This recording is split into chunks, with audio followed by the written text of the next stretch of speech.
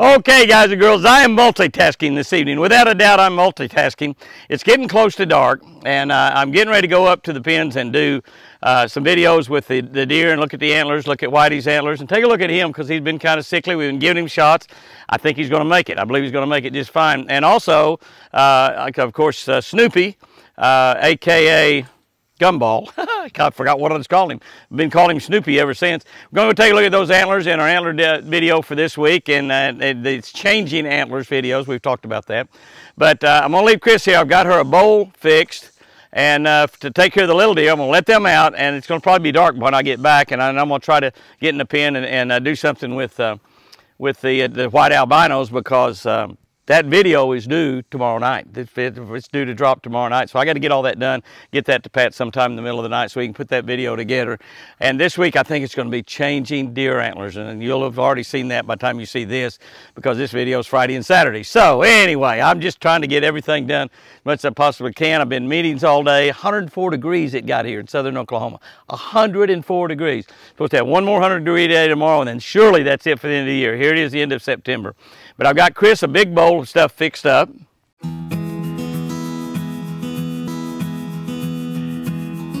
And right there you can see, right there you can see Chris with her big bowl of stuff fixed up there. And uh, they uh, got my camera a little slanting. I'll try to level it up a little bit if I can. But uh, I want to move this thing around a little bit anyway. But I'm going to go over there and, uh, and let the babies out. You can see they're just really, really impatient. And Chris, what do you think? Are you, ready? you going to take care of them while I'm gone? You're going to have to.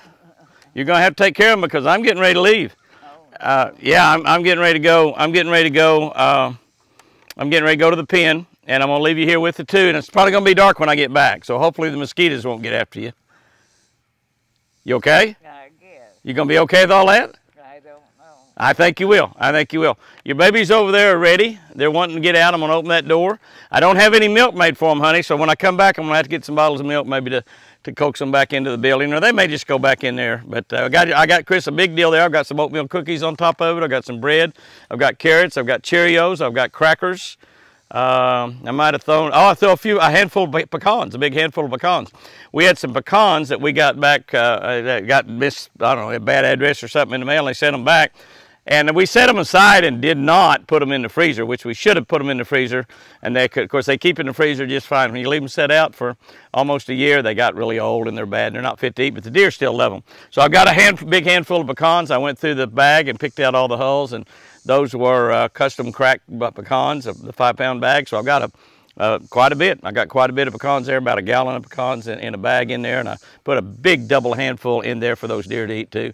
They love those pecans, even though they are old. They don't really care. They don't really care. So I'm going to let them out there, see what happens. All righty, here we go. I got my I got my carrots here in my hand.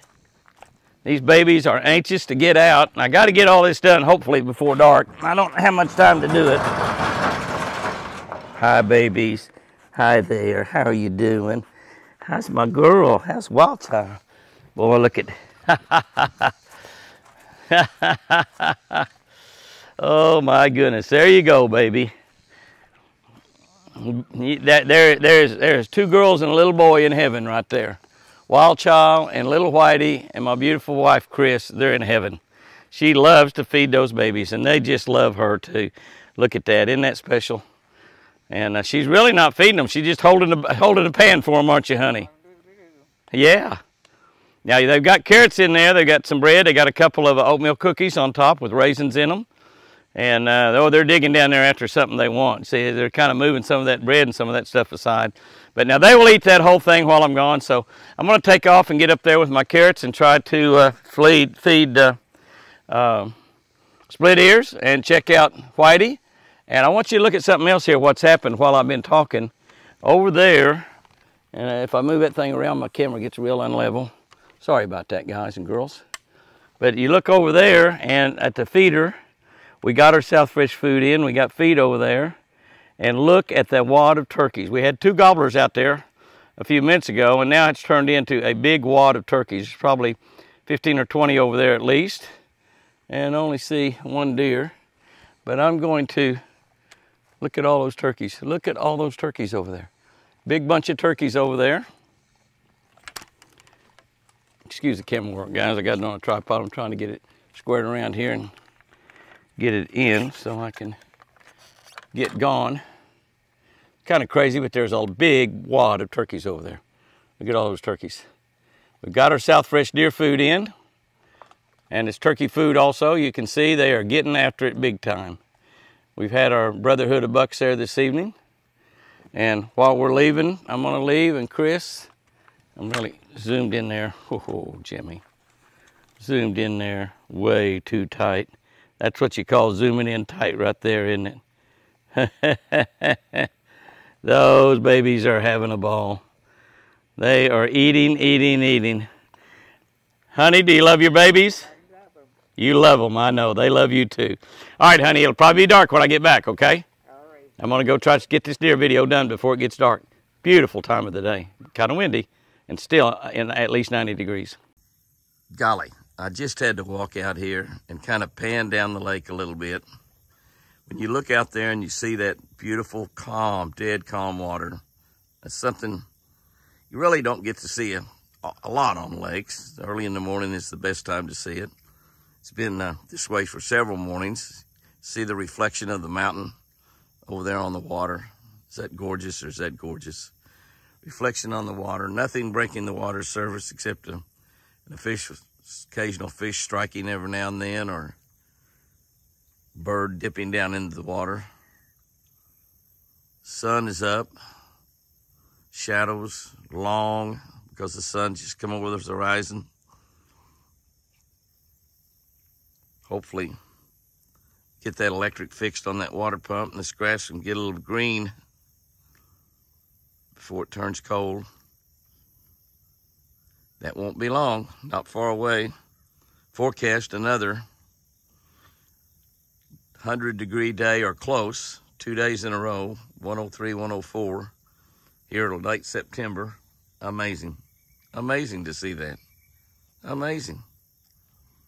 But this may very well be the last 100 degree day of 2022. One lonely duck down there swimming along, thinking blue heron flew by, thinking it's a big wide world and I have it all to myself. See the fish breaking out there in the distance? Many of them. The world is waking up. Thank you, Lord. What a great day to be alive. And on the other side of the house, we have a yard full of turkeys. There's my babies out there. There's my babies. Have a yard full of turkeys. Look at that big gobbler right there. Look at that big gobbler. And a jake. And a jake. A couple of hens. We pan over there toward the feeder and we have lots of turkeys. We have lots of turkeys.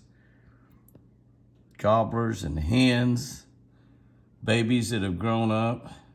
Got a really good ratio of gobblers to hens. I'm gonna try to work on those coyotes and stuff big time and maybe the coons a little bit over the winter. Hoping to have a little bit more time at the ranch than normal. I'll be here taking care of Chris. So hopefully be here a little bit more than normal. Might get to spend more time in the woods doing a little damage to the critters that hurt the other critters that we have. Good critters and bad critters. And a pretty boy laying right there. He's about to get all of his velvet off. We had a bunch of deer out here this morning. They're all wandering around, starting to come back. The feeder will be going off here in a little bit. Have a little bit of a late run on the feeder. Beautiful big fat doe come up there. I love those big fat does. yes, I do. Morning at the Eagle is always exciting as we check on everybody and make sure that everybody's up running around in here and kind of look at the big brotherhood out there of all the bucks and see if uh, everybody made it through the night the wild in the woods is still the wild in the woods, and not everybody makes it every day. So it's always nice to look out there and see TC and Ot 6 and Forrest and Lucky 13 and Molly and a bunch of turkeys. We can lose a turkey every now and then and not really realize it for a while. Then you turn around and look at the white deer and you see all of them in here. Prince Charming just walked back there, and Casper and I, or Snow White, Casper and Ice following him, and Prince Charming right there. The babies are all good and well this morning. Apache pouring a little water in their deal, filling them up with water. They're all excited about a brand new day, just like everybody always is. And Beamer's been out for her little morning deal. hey, Beamer. Hey, Beamer. Hey, Beamer baby. Hey, Beamer baby. That's my girl. That's my girl. So, all is good as we start another day at Twin Eagle Ranch. My, my, my, will you look at this. What a bunch of beauties. What a bunch of beauties we have out here today. Looky there in the prayer circle, everybody laying around praying on a Sunday morning. Chris and I are getting ready for church. We'll be heading that way shortly. I've been out on the road working the last two Sundays. One of those weekends I did get to attend Free Grace United Church up in Elk River, Minnesota. What a great church. What a great church. What a great worship service. Got pretty doe out there. Beautiful, big, beautiful, pretty doe. And Mr. Forrest, what a buck. Oh my goodness, what a beautiful buck. Looky there, looky there. Turkeys. Ot six. Ot on one side, nine on the other side now. AKA Ot nine. My little Molly, my little Molly that we thought we'd lose has turned into a beautiful little girl. She's eating out of Apache's hand right now. She's not quite eating out of mine. Isn't that beautiful? Isn't that beautiful? What a way to start a Sunday. It's dead calm. Looky here at Ot 9 come over here to me. He says, I want to be like Forrest. Lucky number 13. Forrest says, hey guys, that's my boss. That's my boss, not yours. Look at this. Isn't it amazing to have big, beautiful bucks come up to you like that? Hey, baby. Hey, baby, look at him smelling my hand. Force just punch, punch him in the butt there saying, hey, stay away from my boss. Hey, don't you be lowering those horns at me. Do not be lowering those horns at me. Got to keep an eye on them. Got to keep an eye on them. And the turkeys and everybody's waiting for me to throw some feed. That's exactly what we're getting ready to do. Getting ready to put some feed out. Texas Hunter's throwing three times a day. This is just extra stuff that y'all get. Yeah, extra stuff. Yeah, you bet, extras. Nothing wrong with a little extra. There you go, Forrest. I know Forrest, he's got to have some. Forrest has got to have some. Off the bat for him.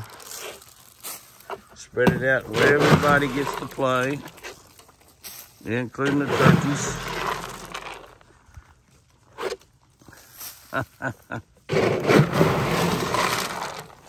Several scoops out here so everybody gets to play. Yeah. I haven't even looked and counted lately. Two, four, five, six, seven, eight, nine, ten. I guess we got about out here. Okay, guys.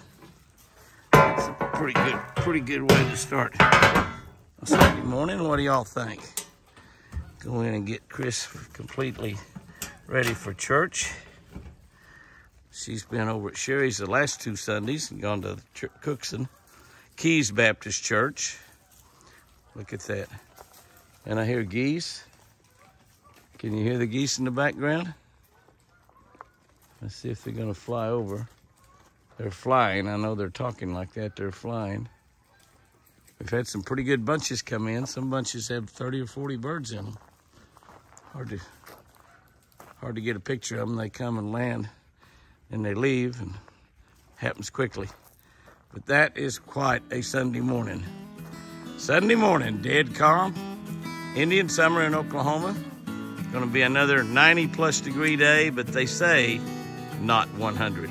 Oh, here comes a big gobbler running in late. Let me get in there and have some breakfast. Yeah, yeah.